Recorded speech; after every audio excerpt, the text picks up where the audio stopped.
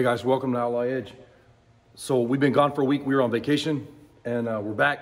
And I really appreciate everybody, uh, all the comments that everybody uh, they were asking, "Where you at? Are you okay? What's going on?" Because I wasn't posting videos, and I actually forgot that we had that thing to go to. Uh, Heidi's uh, stepson, or my stepson, Heidi's son, uh, got married last weekend. So we ended up staying at the cabin and stuff, and hanging out at the lake, whatever. Had a blast I'm all plugged up and like, bah. so ready to get back after this thing. Uh, so I'm gonna start doing some welding and stuff today. I'll probably set up the camera and uh, I got, you know, a little bit behind. So I wanna get on this thing and get a bunch of welding and stuff done. Um, I got the TIG welder set up. I got the MIG welder set up and I'm gonna just pretty much weld all day long and try to get this frame done so I can get it sandblasted. Um, it's supposed to be really hot this week.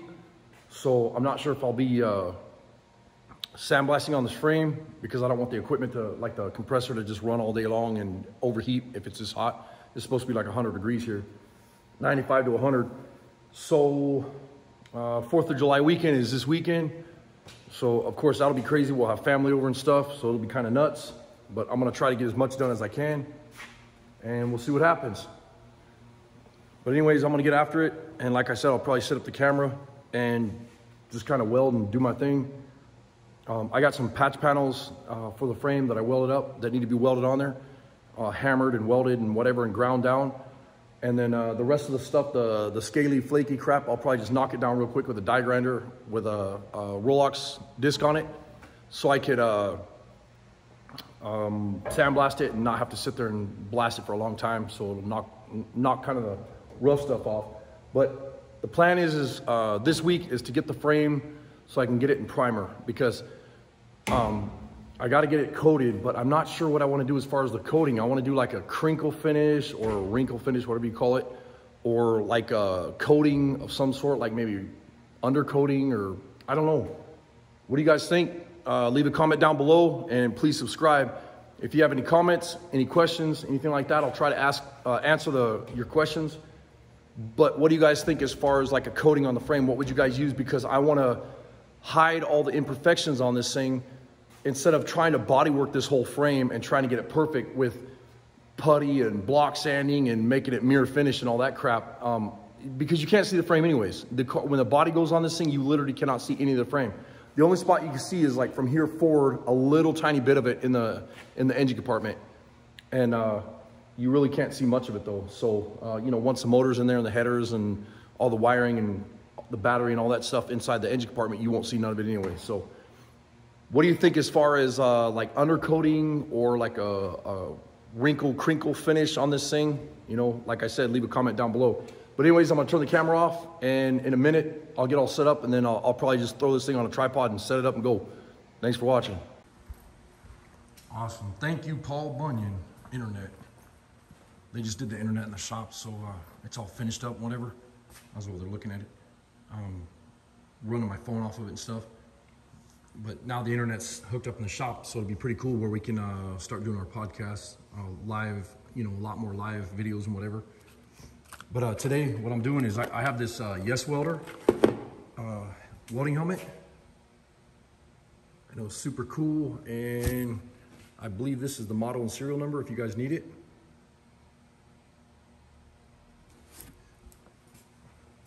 And then I was looking through the instructions and this is a pretty trick welding helmet. I got everything set the way I wanted it. Um, right here you have the low and the high and that's for your sensitivity. And then you have your delay. I have it on fast and then I have it running about uh, 10 or 11 right in there in between. And then you can switch this one to grind or weld. If you want to grind something, you cover your whole face, which is really trick. A lot of the new welding helmets have that. It does have a test light right here for low battery, and you can see the screen setting right now, blinking. That tells you it's good. When it's doing that, uh, it shows that it's good. I actually, uh, I'm glad I read the instructions because I pulled the batteries out thinking they were dead. I almost threw these away, but these batteries are good. So I will put them in the toolbox.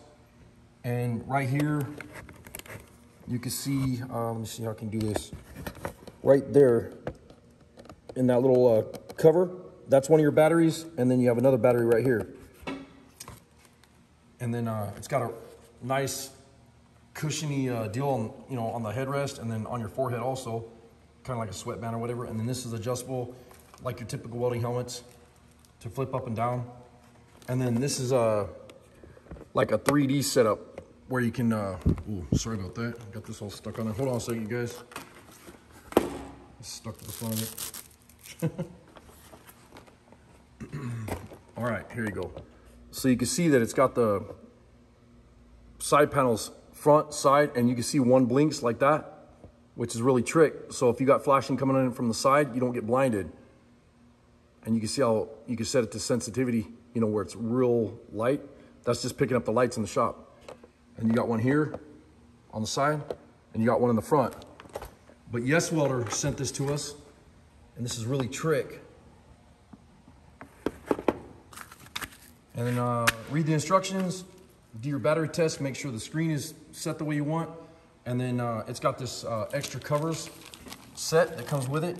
You have your inside, your two side panels, and then your front panel. But anyways, I'm gonna, I'm gonna do some welding with this helmet and try it out, see if I like it. We'll see what happens.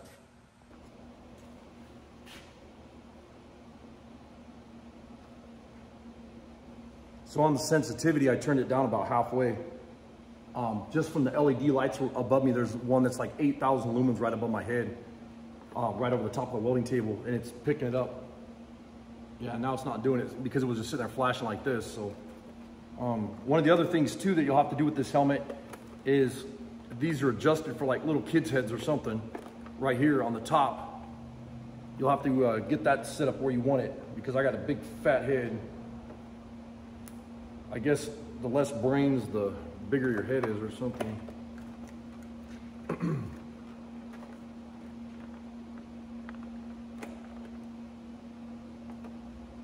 yeah, so I think it's ready to go. Still trying to figure out the uh, adjustments. There it goes. I just had them way too tight. But, you know, I'll have to fiddle around with this thing and do some more reviews and stuff on it. Super comfortable helmet though. I mean, really nice. I still got to figure out this uh, crap on the side. And like I said, I'll do some more reviews on it and whatever and try it out. I still haven't figured out that side, the, the adjustments to flip them up and down. Kind of fiddling around with that right now. But I got these pieces here that I want to get welded on instead of messing around. And I usually wear safety glasses underneath my helmet, and these are RX Safety. Thank you, RX Safety. These are badass. And they're, uh, when I'm welding, I use uh, prescription glasses because I'm up close, because I usually have my face like right here, and what happens is it gets kind of foggy and I can't see nothing. So uh, RX Safety sent us those glasses.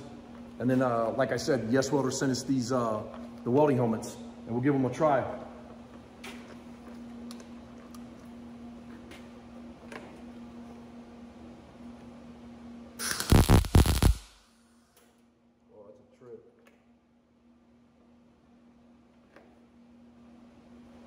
Yeah, it's a total, total different feeling having the, the side vision like this. It's really cool.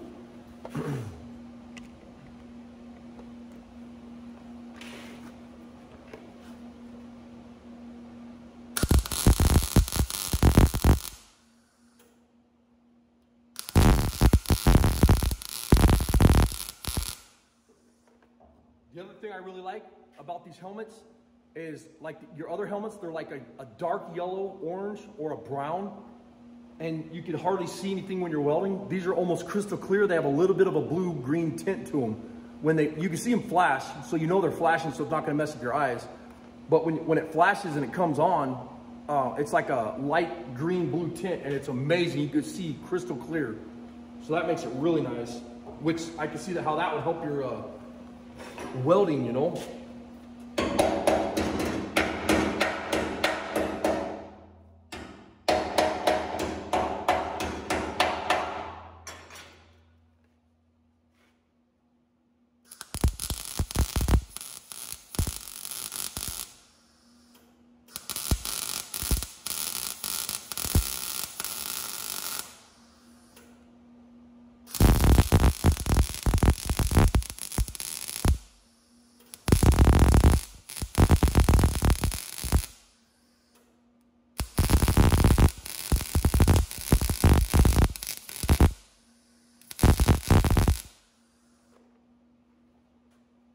Other thing I'm noticing too is they must have like an anti-fog or something on there because on my other helmet, when you're welding, it fogs up the whole uh, inside because like right now it's real hot out.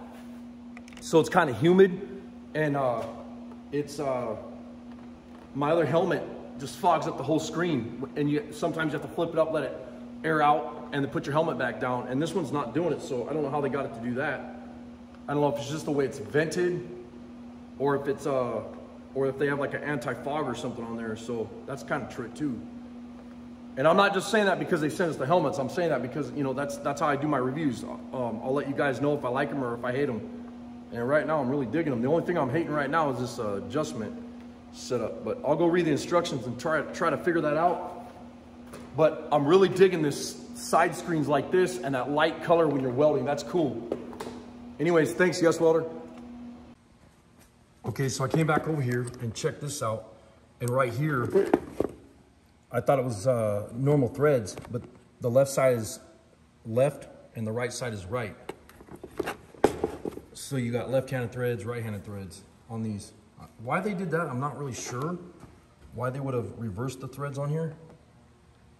Um, but it works, you know, it works really well. And it flips up and down super easy now. So, or not up, but you know, you flip it up with your hand and then flip it down with your with your neck, you know, where you just kind of give your neck a little bit like this and it flips down like a normal welding helmet. So I have this set up nice now so I can go ahead and weld with it. So it's working out good. So one of the trick things I found with this helmet is all my other welding helmets don't have this, but it has like a ratcheting where it'll click, click, click. You can hold it at two or three or four or five just by bumping your head like this. And it, will it, stop where you want it to stop. Because sometimes you're like up underneath the dash and you want to flip it down to like right there.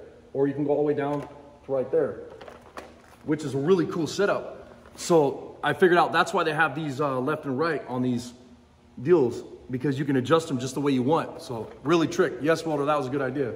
So anyways i'm gonna get back to welding. Appreciate you guys uh, uh, supporting my channel. That's awesome um, all you YouTubers and then the, the sponsors. I want to say thank you to all of our sponsors. So that's really cool. But I'll probably just set up the camera, quit yapping on about the, the helmet. And uh, I wanted to try this new welding helmet to let you guys, because a lot of people were asking about the review. They were like, hey, I want to see the review and what do you think about it and whatever. And then also they sent us that new welder.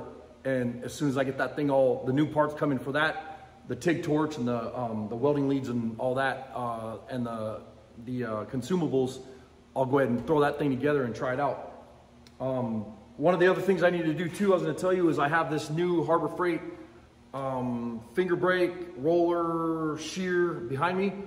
And I want to build a stand for that because I want to use it right now. And right now, the way it's sitting, I can't really use it. It kind of sucks.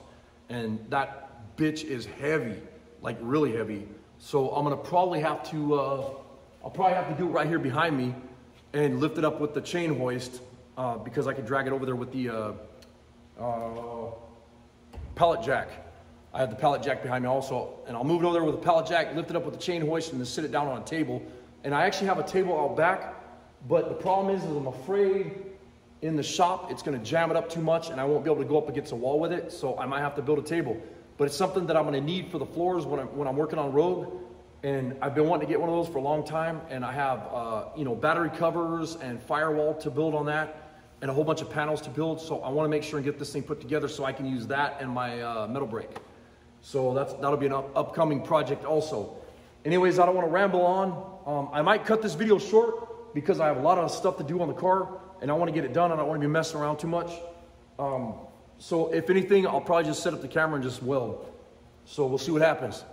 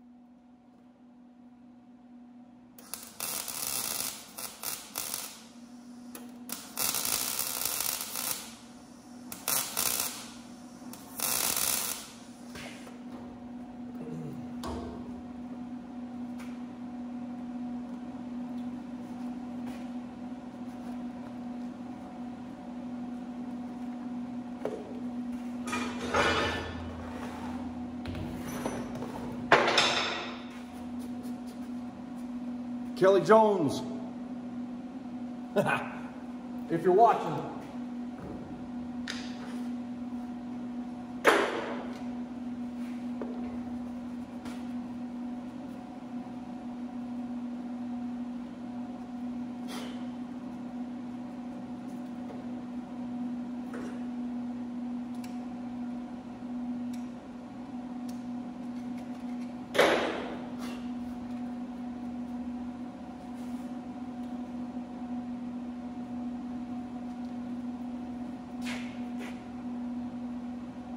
This stuff helps a lot right here.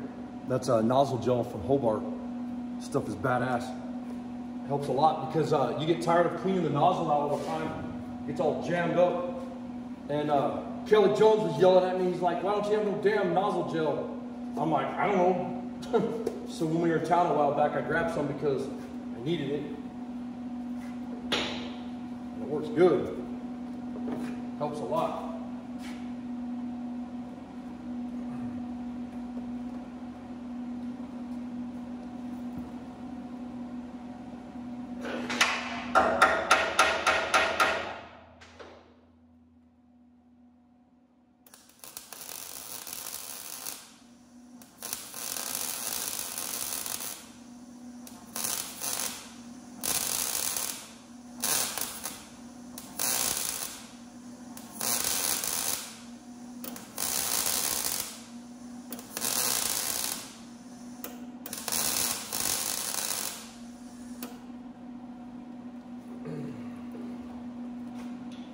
Still got tighten this a little bit on this helmet.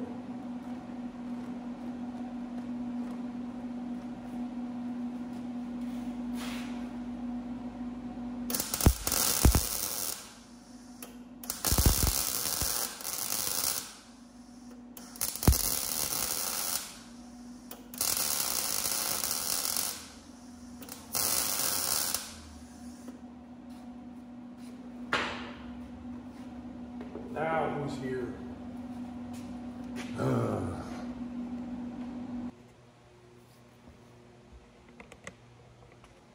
One of the other things I like about the Yes Welder that I wanted to show you guys is when you put on a put the helmet on.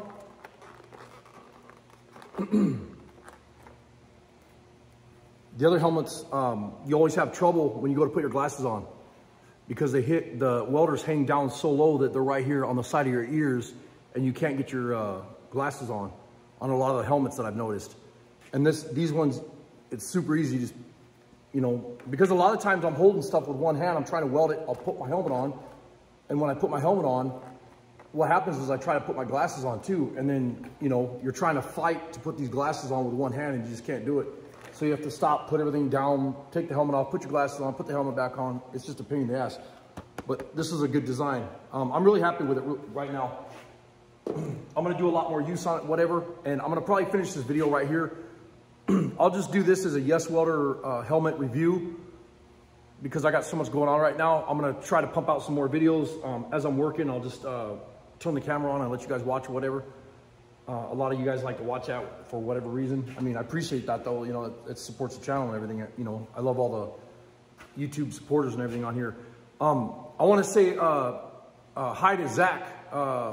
Zach from Max. Uh, if you're watching, brother, uh, that was really cool meeting you yesterday, man. Uh, finally got to meet one of my other YouTube uh, followers and supporters and whatever. and that was, uh, you know, we were coming back from uh, camping at the cabin when we went to the wedding and all that stuff. And I got to meet Zach at one of the Max grocery stores or whatever, or gas station. So that was really cool. But anyways, I'm gonna get out of here. Appreciate you guys watching. Later.